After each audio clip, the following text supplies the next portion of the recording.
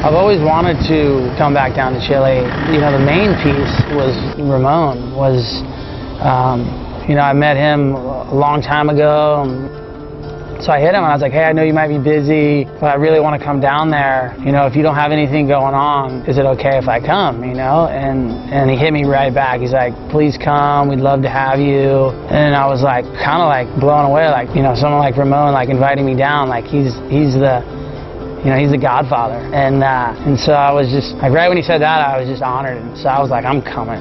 And you always kind of like think how waves are going to be or like how it's going to look and, and stuff, but like it was amazing because like I was able to see waves do things I've never seen before, you know, and uh, there's a lot of unknown, you know. I'm going out to a spot I've never surfed before, and, and I'm getting to hang out with new people and, and, and watching how good they are at what they do, and how I've got a lot to learn, and um, and to me that's like it's it's pretty amazing. Like I'm thinking like I've been surfing for for my whole life, and, and I'm still experiencing stuff that I've never experienced in surfing. And, and I really enjoy watching these guys doing what they do.